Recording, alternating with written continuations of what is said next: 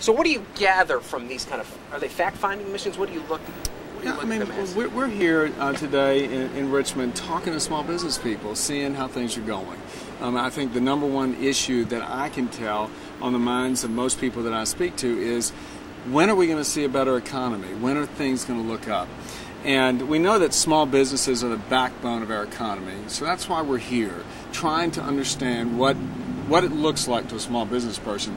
Buster Wright here at Libbie Market says he's actually expanding and he's going to have a new location uh, out on Ridgefield Parkway uh, in August uh, in the far west end here. So that's promising to me. Uh, we talked to Dick Folks uh, from Peter Blair, that's a men's shop here in Living Grove. Uh, he says business is really good. And I love to hear stories like that. We talked to some others and say, look, we've got challenges. It's hard to stay in business right now.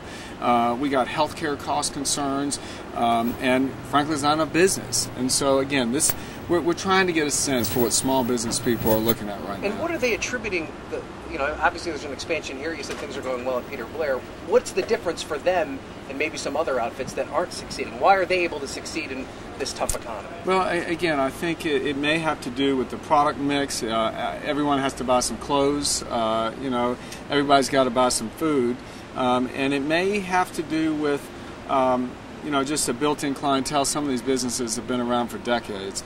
Uh, but what I'm also hearing, even from those that are doing good, it's still a fight with the government. It still seems like the government's not on your side, and what I'm hearing is they want to see a partner both in Richmond and in Washington, not an adversary.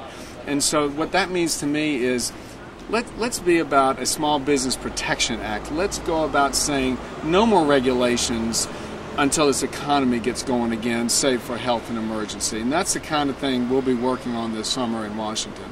And do, what about uh, the gridlock? Does that concern them at all? That uh, it seems that you have a hard time maybe coming to, to agreement with the president on some of these You- issues, you know- the uncertainty, or You know, I've asked that, but it, it's almost as if that is Washington speak. Yeah. Uh, and what they're concerned about is making sure customers come in the door. What they're concerned about is making sure they have their vendors and their pricing right uh, so that they can watch the bottom line at the end of each month.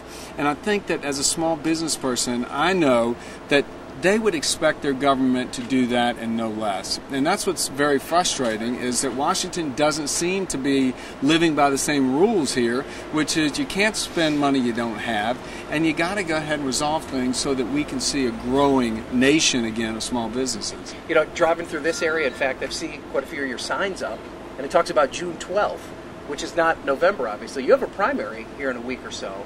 Are you concerned at all about that? Are you, trying to make sure people know that they need to get out on the polls next Tuesday? Or I, I think you know everyone should be taking elections seriously. I mean, this is our God-given gift as citizens of America. We got to go speak out, and go to the polls, um, and you know we don't take anything for granted. I mean, you know we feel uh, very, very confident taking our message of of growth and small businesses. Uh, and the fact that number one concern is getting this economy back on track to the voters of the 7th District.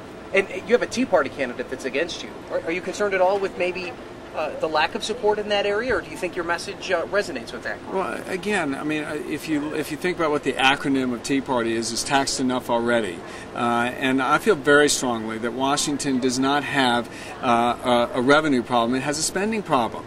Uh, we've got to get the spending straight. That's what we've been trying to do. Unfortunately, you know, it's policies that come out of the White House uh, and uh, those being promulgated and pushed by the Senate just haven't allowed sort of a turn to sense of confidence. Uh, we can see businesses grow if we just allow them to do it and stop loading on more regulations. Do you feel any need to reach out to that group though, specifically, or do you think that you you know that you've done a sufficient job of Well, that? we, we are we are trying to do everything we can to uh, be accessible and to listen to the voters of this district as to what their concerns are. And um, I don't care if you're on the left side of the philosophical spectrum or the right or somewhere in between. What I continue to hear is please get this economy growing again. Please, Washington, stop being the problem. You know, we, we want to see small businesses grow again and so our families can look to more optimistic future. Congressman, question, yeah, I'm sorry, there's, we're gonna have to go. there's a Senate bill. Oh, you don't. you can yeah, ask yeah. one question, we're The- gonna have to go. there's a Senate bill coming forward, uh, patroned by uh, Mark Warner and with a couple of Republicans and uh, I believe another Democrat that's uh, focusing on startup businesses. And I know that there's they t- they touch a couple of immigration issues there, uh, expanding visas for uh, people who. get degrees in STEM areas. Um, I know this is something that they they made a big push for last week.